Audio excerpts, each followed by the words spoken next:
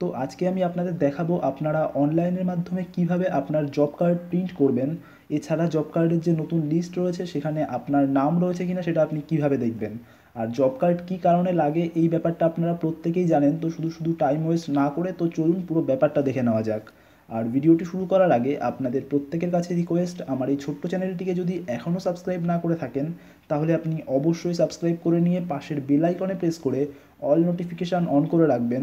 এর ফলে আপনি লেটেস্ট ইনফরমেটিভ আপডেট সবার আগে পেয়ে যাবেন এবং কোনো ভিডিও আপনার মিস হবে না। তো দেখুন, সবার প্রথমে আপনি যে কাজটা করবেন, আপনি যে কোনো একটা ব্রাউজার ওপেন করুন এবং ব্রাউজার ওপেন করে আপনি সার্চ বারে লিখুন, আর তার আগে আপনাদের বলে রাখি, আপনারা যদি মোবাইল থেকে করে থাকেন, সেক্ষেত্রে অবশ্যই আপনি ডেস্কটপ মোড বা ডেস্কটপ ভার্সানটাকে অন করে নেবেন। এবং তারপরে আপনি সার্চ বারে লিখুন M G MG NR EGA এবং লেখার পর আপনি যদি সার্চ করে দেন, তাহলে দেখবেন অফিসিয়াল ওয়েবসাইটের লিঙ্ক একদম প্রথমেই চলে আসবে। অর্থাৎ আপনারা এখানে দেখতে পাচ্ছেন প্রথমেই রয়েছে NREGA dot NIC dot in তো আপনারা এর উপরে জাস্ট একটা ক্লিক করে নেবেন। এবং যদি আপনারা এর উপরে ক্লিক করেন, তাহলে আপনি কিন্তু দেখতে পাবেন অফিসিয়াল ওয়েবসাইটের লিঙ্ক ওপেন হয়ে যাবে এবং এখানে একটা পপ আপ শো হচ্ছে দেখতে পাচ্ছেন। তো আপনারা জাস্ট ওপরে এই ক্রসটা দেওয়া রয়েছে, এখানে ক্লিক করে পপ আপটা কেটে দিন। এবং এখানে কিন্তু আপনারা দেখতে পাচ্ছেন the Mahatma Gandhi national rural employment guarantee act two এর যে অফিসিয়াল ওয়েবসাইট তার ইন্টারফেস আপনি এইভাবে দেখবেন। তো এখানে কিন্তু প্রচুর অপশান রয়েছে, কিন্তু এখান থেকে আপনি প্রথমত যে কাজটা করবেন, এখানে দেখুন উপরের দিকে সেকেন্ডে অপশান রয়েছে পঞ্চায়েত বলে। তো আপনারা জাস্ট এর উপরে একটা ক্লিক করবেন, অর্থাৎ আপনারা মাউসের কার্জারটা দেখতে পাচ্ছেন যেখানে রয়েছে, এখানে পঞ্চায়েত লেখা আছে, আপনারা জাস্ট এর উপরে একটা ক্লিক করবেন। এবং যদি আপনারা এর উপরে ক্লিক করেন, তাহলে আপনি দেখতে পাবেন নতুন একটা পেজ ওপেন হয়ে যাবে এবং এখানে কিন্তু পঞ্চায়েতের আন্ডারে আবার তিনটে অপশান দেখতে পাবেন। প্রথমে রয়েছে গ্রাম পঞ্চায়েত, তারপরে রয়েছে পঞ্চায়েত সমিতি, ব্লক পঞ্চায়েত এবং তারপরে রয়েছে জেলা পঞ্চায়েত। তো এখান থেকে আপনি যে কাজটা করবেন, একদম প্রথমে যেটা রয়েছে গ্রাম পঞ্চায়েত, আপনি এর উপরে একটা ক্লিক করে নেবেন।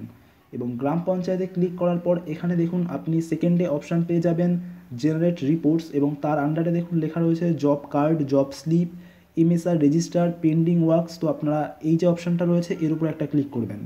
এবং যদি আপনারা এর উপরে ক্লিক করেন, তাহলে কিন্তু আপনি দেখতে পাবেন নেক্সট পেজে কিন্তু টোটাল ইন্ডিয়াতে যতগুলি স্টেট রয়েছে, প্রত্যেকটার নাম চলে আসবে। তো এখান থেকে আপনি জাস্ট ওয়েস্ট বেঙ্গলটাকে সিলেক্ট করুন এবং ওয়েস্ট বেঙ্গলের উপরে ক্লিক করার সাথে সাথে দেখুন নতুন একটা পেজ ওপেন হচ্ছে এবং এখানে কিন্তু দেখুন আপনাকে প্রথমত আপনার ফিনান্সিয়াল ইয়ারটাকে সিলেক্ট করতে বলছে। তো এখানে আপনি জাস্ট সিলেক্টের উপরে ক্লিক করে আপনি যে ফিনান্সিয়াল ইয়ারের জব কার্ড দেখতে চান সেই ইয়ারটাকে আপনি চুজ করবেন।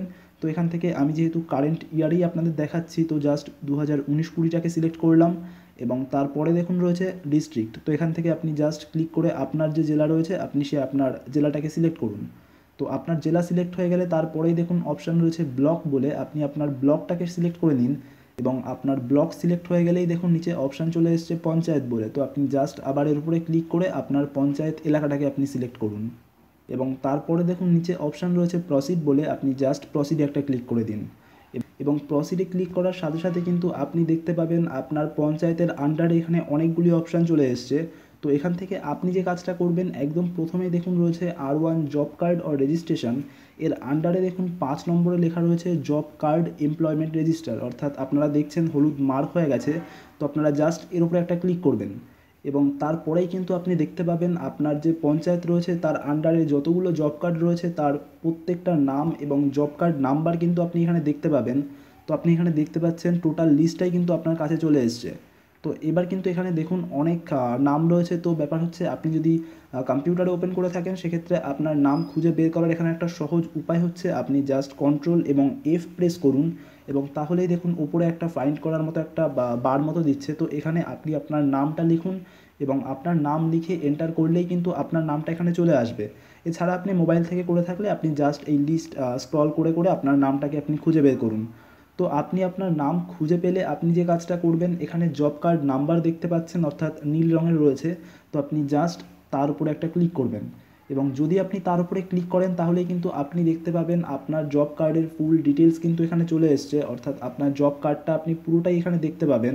এবং এখানে ডান সাইডে দেখুন যে ছবির জায়গাটা, সেটা মাঝে মাঝে সার্ভার প্রবলেমের জন্য এখানে ছবিটা শো করে না। তো যাই হোক, এটা সার্ভারের প্রবলেমের জন্য এখন ছবিটা শো করছে না।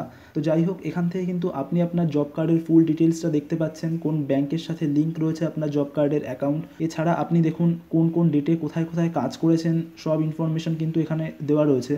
তো আপনি এখানে জাস্ট নিচে নামালে এখানে দেখতে পাবেন টোটালটাই কিন্তু দেওয়া রয়েছে। তো এইভাবে কিন্তু আপনি আপনার জব কার্ডের ফুল ডিটেলস এবং আপনার জব কার্ডটা কিন্তু আপনি অনলাইনে দেখে নিতে পারেন এবং সেটাকে প্রিন্ট আউট করে নিতে পারেন। তো ভিডিওটি আপনাদের জন্য হেল্পফুল হয়ে থাকলে ভিডিওটিকে অবশ্যই লাইক করে দেবেন। প্রত্যেকে ভালো থাকবেন। দেখা হবে নেক্সট ভিডিওতে